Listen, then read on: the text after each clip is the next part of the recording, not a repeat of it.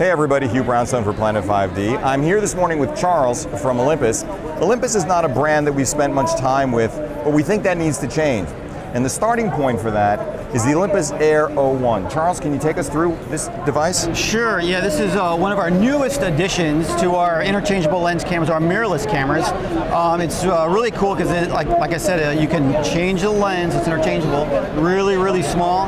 And the really uh, unique thing about this guy is you connect it via your smartphone. It is Android uh, or iOS com uh, compatible, and your smartphone just sits in there just like that, all the way up to iPhone 6 Plus, I believe. It's, this guy has just kind of extends out just like that, right? Outstanding. It's so on it, my list. So it um, connects just uh, right in there, and you have all the controls of the of your uh, OM camera are built into the app. Fantastic. So what you've basically done is you're using a smartphone as the control surface. You've got a 16 megapixel sensor with a micro four thirds mount. Correct. And then the full set of your glass is available. Correct, and uh, one unique thing about it, it uses both Bluetooth and Wi-Fi uh, to make that connection.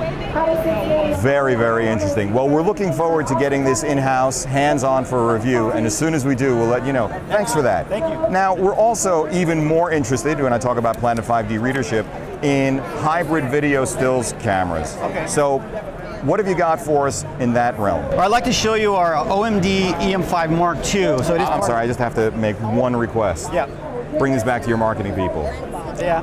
Fewer letters and numbers on those names. All right, we'll definitely uh, take a look at that. All right, thank you. Okay. So our M5 Mark II camera, uh, I'd like to show you this one because it's really geared for uh, shooting video.